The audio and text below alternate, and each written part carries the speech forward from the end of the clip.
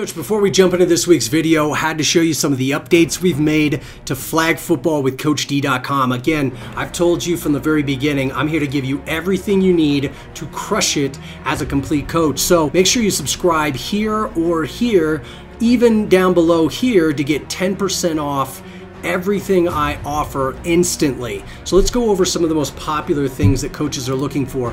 First, it's playbooks. Uh, the most popular is called the Complete Coach Package. It gives you over 200 plays. It's right here. Um, most of them are age-based and it'll tell you exactly which 24 plays to use for that age group. You get practices, you get drills, you get templates, everything you need. I would grab that for sure. Now, if you're looking for wristbands as well, then get the plug and play bundle. That one gives you the complete coach package plus 10 wristbands. Some coaches have said to me, hey, I want situational plays. I'm in the red zone or I'm getting blitzed all the time. I need pass or run plays. Those play bundles are right here here. Um, let me scroll down and show you how to use this website. If you're five on five, you click here. Six on six is here. Seven on seven is here. Um, the equipment, you can find my clipboard, which I use all the time.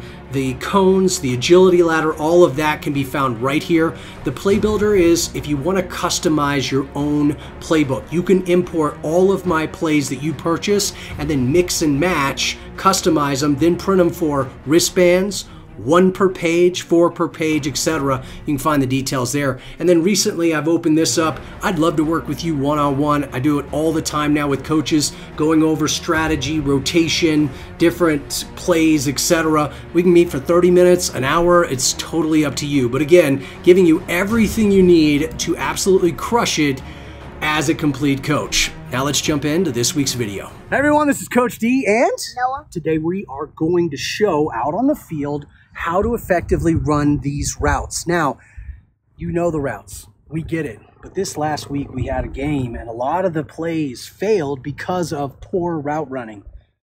Now, out on the field, we're going to show today what a bad curl looks like, what a bad post looks like, and how to correct it out on the field. Now, why is it so important for us to have clean, crisp routes? Uh, because if not, then you're just going to get like intercepted. Okay, you could have interceptions. You could, for instance, let's say I have an in pattern going this way and I have a curl route going that way. Every play is designed specifically to make sure that someone is popped wide open. Now, if you didn't run this in route correctly, and let's say you ran it over here, a couple things could happen. You could have a lot of activity right here, and then boom. You could also run into each other, right? So we saw a lot of that on tape this week. So let's start with our curl route. And Noah's big on me showing on the field instead of talking, so let's go out to the field. Now, a curl route, as we know, is anywhere from three to five yards out, and then we turn quickly, and boom, get wide open. Now, what we notice a lot of times, Noah, let's say, I mean, the end zone is right here. What is a bad curl route, if I need to get to this line, what happens a lot of times? I run out and I go too short. So I get the reception, flag is pulled, turnover, because I didn't go to the actual line. So on a curl route, Noah, you want to make sure you go to the line again, a little bit further, and then boom. All right, let's show them that. You quarterback, let's go. Ready, go. Now, he hit me right away, so when I turn around, boom. I'm not just standing here going like that. He hits me right away. Good. Now, Noah, come out here. Let's say there's a defender standing right here. If I come out, let's say you're a defender, which way should I turn? The opposite way. The opposite way. I want to turn away from the defender, right? If I turn toward the defender and like this, never going to happen. I want to turn away from the defender. All right? Let's start on both sides. Another thing about routes, should I do it on just one side or practice both? Both. Why? So then both sides are good sides. Both sides For are good sides. Everyone. Right, right, right. So the quarterback can practice both sides, and the receiver doesn't say, "Oh, well, that's my good side or bad side." Cool. Let's say I've got a uh, someone right in the middle, so I need to cut to the outside. Go. A little bit further out, that's okay. because he's trying to throw it away from that, but I turn around and I'm available right here. Good. Very nice. All right, now, now we're going to start with our slant. Slant's going to start here, right, and go across. Now, is this just short yardage usually? Uh, I mean, it could be both. It could be. It could be both, but let's say if you do this correctly, you could get the sideline and you could score. So if you throw it correctly, we could get that sideline. Let's show them out on the field. Now, what are some of the mistakes that we see new players make when they're setting up for a slant? The way that they're gonna run. Yep, yep, yep. I'm lined up. You're the quarterback, and I'm lined up. I know I'm going this way, right? What, what's going to happen here? Uh, Most likely they're either going to cover you to run yourself. So you're going to line up, facing right front, no matter what. Hit me. ready, go. I'm going to make a quick move the other direction, and then I go this way. Noah doesn't want to throw it here at my back pocket. Where do you want to throw it, Noah? In front of you. In front of me so that I can keep running. Good. Ready, go. Again, we're trying both sides. Goes out in front of me so I can catch it like this. Now, a lot of times when, come on over, the best way to catch a, uh, a slant pattern is what? Yes. Diamond? Yep. I have my diamond out like this. I don't want to try to catch it like this. I want to catch it like this on the run. So hit them with the hands moving in that direction. All these routes are movement, all right? So I don't want to I don't want to just go like this and then just this is the end of my route, so I just stop right here. Uh-uh. It's on the run. All right, good. Next one is interesting. No, this one's called a slant cut. Slant cut, what's the difference between a, a slant and a slant cut? Uh, a slant cut is where you go here and then slant and then cut in. and then you cut. Yes. So what's going to happen with the defender? The defender is following me this way. What happens with a slant cut? They get the defenders get lost and you go. Yeah. So the defender is going to keep going this way, and I cut across and I, I get wide open here. Again, I don't stop. The quarterback's going to actually hit me on the run going this way. It's a lot of practice to lead that receiver, which is important. Let's do it. So again, I start facing straight forward. I'm going to go a couple this way, and I'm going to cut across that way. Ready, to go. I go, cut, quick, boom, right there. Okay, good. Other side, always. Now, this time, I'm going to cut, go that way, and cut out. Ready, go. Now, whether I am supposed to be getting the ball or not, I still want to have a clean route. So you still want to be out on the field watching and coaching in the moment. So, Noah, real quick, the movie quarterback, show me a sloppy, a sloppy one that I'd be like, not good. There you go. Yeah, okay, way to go. Yeah, see that loop. See that loop right there? This little thing like this, that's not to trick anyone. They won't be open. They'll just be like out here like this, right? So you want to watch for that, all right, and coach in the moment and make sure that they get this down. You might know these routes, Noah, but it's important when we see that some of our players are not doing it that we correct it in the moment. They don't see how their route plays into everything else. So we talked earlier about an in pattern with a corner route. So what does this in pattern look like? Let's show them out on the field. Now with the in, let's say I'm going to go some yardage, but then a lot of times I just kind of see this. See that? See that little angle right there? Right? What does this need to be? What type of angle? 90 degree. Let's give it to it. Ready, go. Yeah. Right out there. Boom. So I'm going to take this all the way out. You hit me if you're looking someplace else, and then come back to me. Hit me while I'm over there. Okay? Ready, go. So even though I'm ready, I might be his second option in what's called a progression, right? He might be looking at the corner, but that's covered. I want to keep running. What I see a lot of now, let's see a lot of this.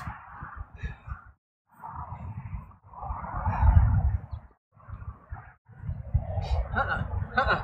You run all the way. Let's say I'm covered. Let me show you the option on that. I'm gonna go all the way to there, but I'm still covered. I'm gonna cut that way and come back in. Ready to go? And boom. I come all the way across. You can do that. That's an option. Again, teach teach them to run all the way through their route, even if they're not getting the ball. All right, bud. Let's go with an out pattern. What you want the quarterback to do is hit it right when right when they're about right here. You want them to already make that decision and throw the ball to where they're going to be. All of these are fairly quick. So he, he wants to throw that, that ball to me when I'm making my cut so that the, the defender does not see that I'm getting the ball. Ready to go? Yep, I could have been defended. So you want to throw to that sideline where they're going to be. Ready to go? Clean cut. Step. Cut. Lay out. So then I can get that sideline and go. Now, another cool thing we saw this weekend, Noah, is one of our players caught the ball here. Instead of running out of bounds, did a quick spin move, and then actually ran all the way across and scored a touchdown. So, if it's done correctly, it can lead to some pretty cool stuff. Now, you can use this clipboard to help keep yourself organized as you're going through these. Now, this one's called the in and out. This is one that Noah helped me kind of design. Noah, what is the in and out? It's Show this way. Go ahead. so we go here, forward five steps, and then go in two steps, Uh-huh. and then cut out. And then cut out. You want to show us on the field? Yep, you're going And then look forward. Look forward. You're getting the ball, Uh-huh. and then you have to make a hard kick, Yep. and then go in. Good. That's very important right there. That look right there, you could, as a quarterback, you could do a nice little pump fake if you wanted to. Uh. Ready go? Go up. In pattern. Now, here, you got to practice this because it's tricky. You're going to look like you're going to get it, and then you're going to go out. Boom. There you go. You're leaving that defense in the dust. And again, you want to try both sides, practice both sides. I'm going to go full speed. Ready. Look, go. Another thing that you're wanting to watch for now, what I've noticed in video is which way they're looking. So a lot of times when we're doing out patterns or any of these, I. Come out and I go like this. See what I just did there? Look at the way I turned. You know, what is wrong with it? You're supposed to look like this way, but you were like. it's awkward, and I'll tell you, the defense can just keep up with you. That's an out, right? See this a lot. Watch this. Watch the difference. Ready, go. Gotta teach him how to do it. Go. Whoa! You gotta teach your quarterback. You gotta get him. Even if they're experienced, go in. Ready, go. I even caught that wrong. One more. Ready, go. Just keep going. Other side.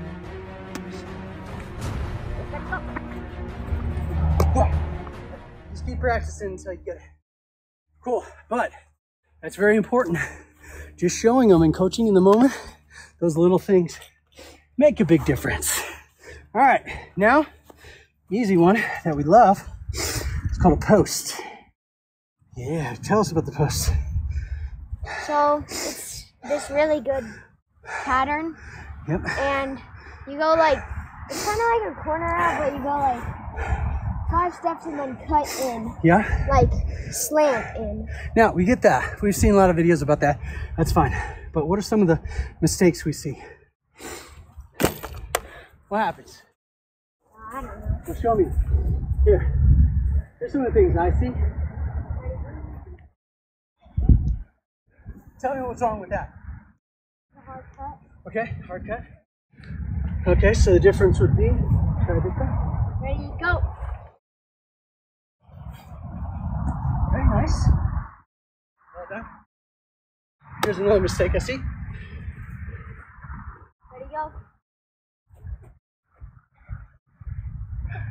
You didn't finish running your route. What's that? You did not finish running your route. Tell the coaches. He didn't finish running his route. So, you need to finish running the route. I mean, this is an active route. That means you keep running all the way through it. Let me show you if for some reason you get to the end of the route and you're not open. Ready, go. Uh, I'm covered. I've run my route. Okay? Here's what I want to do. Cut toward there, then come all the way across. Yes. But initially, here's what the point of a over the top post is. Ready, go. Four. Over defense. Ready, And I'm going to catch it like this. We'll talk about that in a second. ready, go. I've got a bunch of defenders on me. Yeah, interception. So, practicing. No, where do you want to hit that? He wants to throw it way over here. So I can catch it as I run. Ready, go. Hard cut. He wants to throw it up here. So I can catch it on the run, beyond the defense, and keep going. All right. Do you practice just one side or both? Uh, both. Why?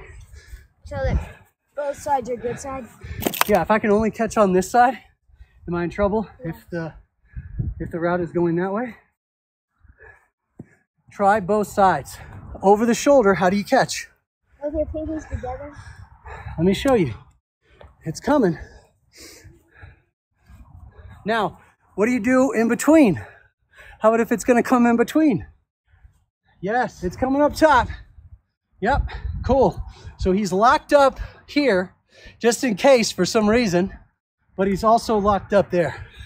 Cool, nice. Now, this is relevant to our next one. What's our next one? A corner. a corner route. So the difference between a post and a corner is I'm going to go to the corner here. Noah, what is this perfect for? It's perfect for like running like touchdowns and extra points. Yes. I'm seven yards away from an end zone. I'm five yards away. I'm doing a two point conversion, whatever. I'm going to throw this ball over here. Or again, corners can be in this side as well. What I see a lot is that they just do kind of a halfway. Uh-uh. This is an active route, meaning Noah, you're going to go up, and as the quarterback, I'm going to throw it on the run over here. Your defender is probably going to be right here, so they can't get to it if you do what's called a back shoulder pass. This is your back shoulder pass. You want to be quarterback? You want me to? Yeah. Yeah? Okay, we're going over this side. I'll go halfway. Ready, go. Okay, boom, boom, boom, same thing. Hard, boom.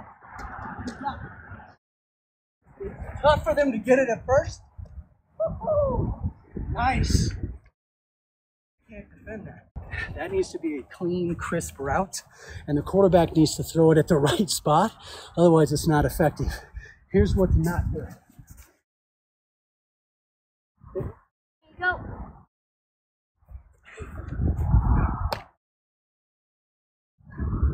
Yep. Interception. This is probably going to be three, two to three players back here. So, one more time. Well, I should do. Ready, go. You can't touch that. You can't touch that. The last one is the fly pattern. So now we've gone through all of these. Now let's go to our fly pattern. As we know, with a fly or a go, we're gonna go straight down. There's a couple quick tips, Noah. Let's go kind of quarter speed here, maybe three quarter speed here, and then five yards in, I'm gonna burst speed so that I outrun this defender right here and I'm open here, okay? That's one thing. The other thing we'll talk about is which side to catch it on.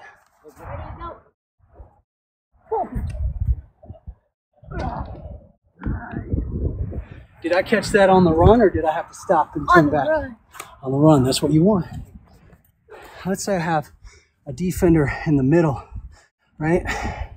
And I'm gonna do a fly, but I wanna actually throw the ball on the outside so that the defender can't get to it. There you go. There you go. I go quarter speed. Now I'm ready. No, that was perfect. Wait, what? That was literally a perfect pass. We call that perfect pass. You see what that that was? Yeah. Could the defender get to it? Nope. Not even close. I was in full speed on that. I could just take it to the house. So a lot of this is instead of when I get to the end of the route and I turn around and I do a lot of this. Uh-uh. Another thing I see a lot of, Noah. Let me see a really poor in route. Bad cut. Ready to go? Yeah. See that? See that lukewarm? Uh-uh. No, no, no, no. So they need to know their routes. They need to know how it fits into each of the plays, right? And they need to be doing it correctly. So I can quickly come up to them in practice. You see me all the time, just kind of watching. And then I see if it's a little bit off. I coach in the moment and we do it again. And we do it again. Sometimes I'll actually show them out on the field. You see me show them out on the field a lot, right? Yeah. And then we see it. And then we record the game so then we can go back and say, aha, okay. All right, Noah, we need to be a little bit cleaner on this one or that one. No, you're always perfect, but very nice. Anything else, bud? Nope. Remember, if you like OUC, this is Coach D and Noah. all right, we will see you next time. Make sure you subscribe, comment, crush the bell, all that good stuff, and go to flagfootballwithcoachd.com. You'll see these plays and so much more. We'll see you next time.